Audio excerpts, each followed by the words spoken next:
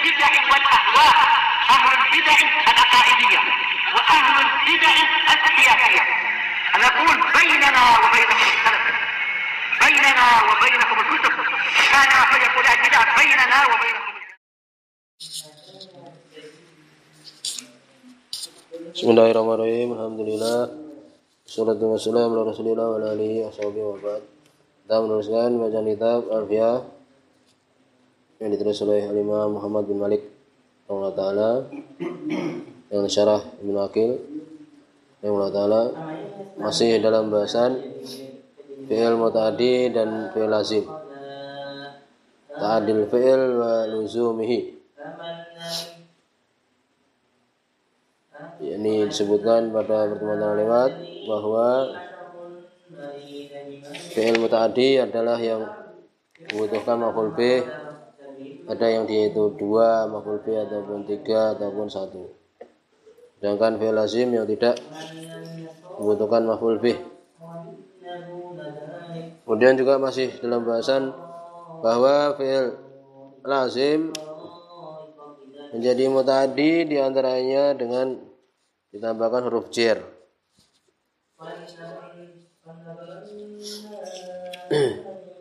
Dan tidak boleh dihapuskan huruf jernya ini. Ya boleh dihapuskan huruf jer ini ya. Tapi yang dia itu apa? Sesuai dengan naklan, didengar dari orang Arab. Seperti marartu. Ya, marartu boleh dihapuskan di situ baknya marartu zaidan karena ada syair yang menguatkan dan ini tidak bisa dikiaskan nah itu. Tidak bisa dikiaskan dengan yang lainnya. Yang kesimpulan adalah demikian. Demikian juga, juga ya sekarang pembahasan tentang ana ana dan an. Yang dia itu di apa? E, di fi'il lazim kemarin disebutkan kalau Ibnu Malik rahimahullah wa adila siman bi harfi jarin wa in hudif panasbu lil munjari. Naklan. Ini sudah kita bahas. Berikutnya wa fi anna wa an ya tarid ma amni labsin ka ajibtu ayadu. Dan di dalam anna dan an ya maka ya torid ini umum toridan umum. Seperti lafat seperti kalimat ajib tu anaka imun asalnya itu ajib tu min anaka imun berarti apa? Berarti dihapuskan min huruf jernya itu. Dan ini aman dari labes ini kerancuan. Ya ajib tu min annaka imun aku takjub dari semuanya engkau berdiri. Dihapuskan min boleh. Ajib tu anak kau imun demikian juga contoh yang dibawakan di sini ya. Ka ajib tu ayadu asalnya ya. Ajib tu min. Ayadu mana ya pak ayadu di sini? Ini min. Ayuk tu adiyah aku merasa heran dari ayuk tu adiyah untuk mereka memberikan diah tebusan. Karena membunuh orang atau yang semisal itu. Ya, demikian. Jadi apa? Dihapuskan minnya itu. Dan ini adalah motorit secara umum. Sebutkan di sini oleh Ibnu Akil rahimahullah taala wa amma an wa an wa amma anna wa an adapun anna dan an ya. Bayajusu hadfu harfil jar. Boleh dihapus huruf jar Mahuma bersama dengan keduanya. Jadi ana dan an. Ya, kiasan mutaridan. Nah, ini kias yang secara umum. Ya. Baik itu didengar di dalam bahasa Arab atau tidak didengar itu. Simaan aula. Pokoknya umum dia itu. Ya, sama saja dia itu eh, ada syairnya atau tidak. Demikian. Itu makna apa? mutaridan di sini. Ini sama saja dia itu sima aula. Bisa arti amni labis. Dengan syarat aman dari kerancuan. faqaulika ajibtu ayadu. Wa wal asal asalnya ajibtu min ayadu. Ay min ayyutu adiyah. Ya, aku aku takjub Iran dari mereka memberikan tebusan. Itu ya.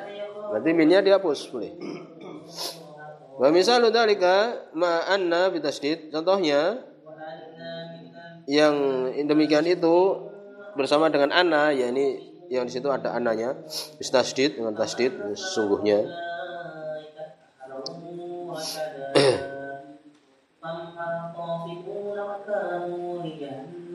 Bitasdid ajibtu min annaka qaimun. Seperti tadi yang contohkan. Fayjuz hadfu min boleh dihapus minnya fatakul ajibtu annaka qaimun. Berarti umum, ya kan? Umum. Ajibtu atau semisalnya.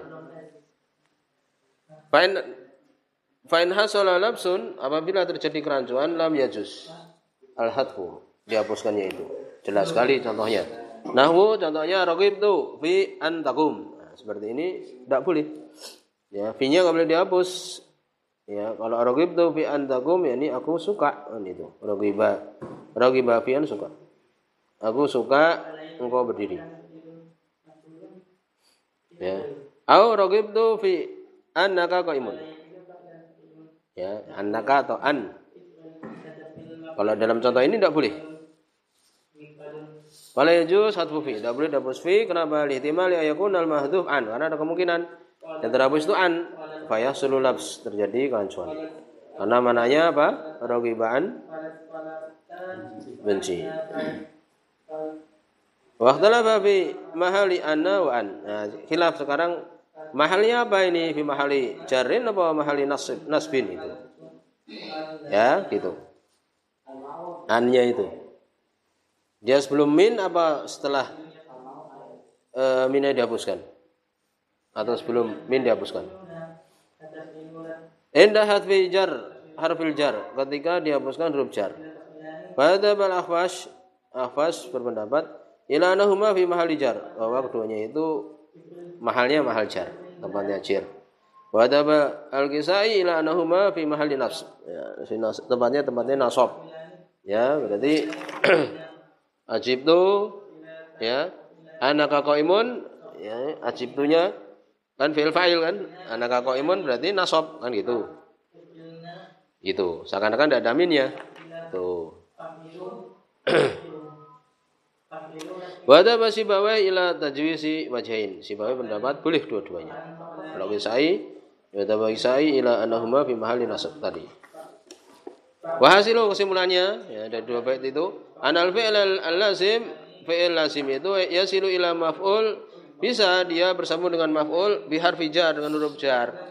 Ya, thumma in kana al-majrur ghairu anna wa an Kemudian apabila majrur itu selain anna dan an, ya, selain anna dan an, lam yajuz hadfu harful jar ila siman. Tidak boleh dihapus huruf jarnya itu kecuali memang didengar. Ya, seperti marro, maror itu. Boleh dihapus. Wa in kana anna wa an kalau dia anna dan an nah ini boleh. Jasa dalika boleh yang demikian itu kiasan. Indah amni labas secara kias kias ya kan? Dan itu motorit semuanya umum. Dengan syarat apa? Tidak ada kerancuan. Ada wasoid ini yang sahih insyaallah demikian. Di sini semoga